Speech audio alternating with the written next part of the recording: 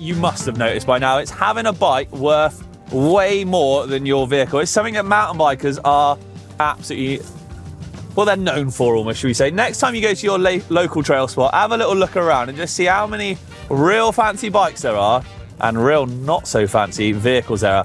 And you know what?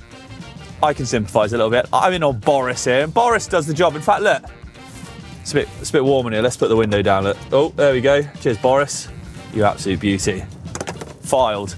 So it doesn't matter. You don't need a fancy vehicle though. It's nice to have, don't get me wrong. I wouldn't mind a fancy van, but at the same time, when I chuck my filthy bike in the back, my motocross bike, all my kit, I'm like, hey, I don't really worry about keeping it clean too much. And I think that is actually a good thing.